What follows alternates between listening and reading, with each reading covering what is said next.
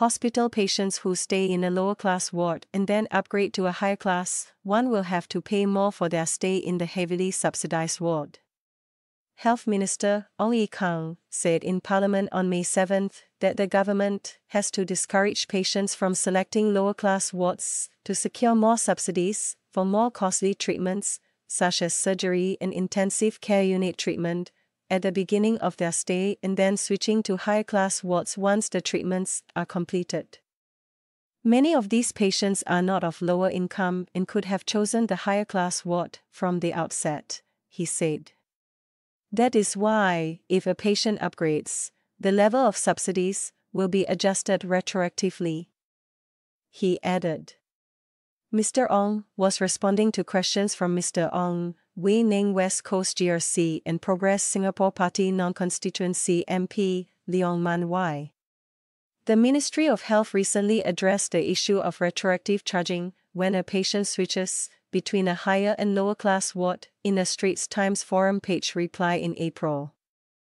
A reader had written in to say it was unfair that his elderly mother, who was admitted to hospital as a Class C patient, will be retroactively charged more for previous treatments received in the same admission if she upgrades to a single occupancy room and becomes a Class 1 patient.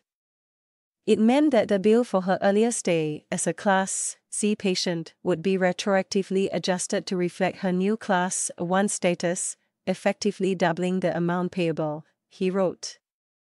In its reply in April, the Ministry of Health said the current policy is meant to discourage patients from selecting lower class wards to enjoy higher subsidies for more costly treatments and then upgrading to higher class wards once these treatments have been completed.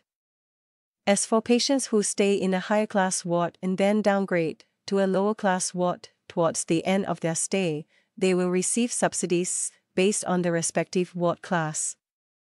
Mr. Ong said in Parliament on May 7. This is fair. In fact, where the request to downgrade is due to unaffordability because of complications or unexpected additional costs, public hospitals will find ways to support these patients financially. He added.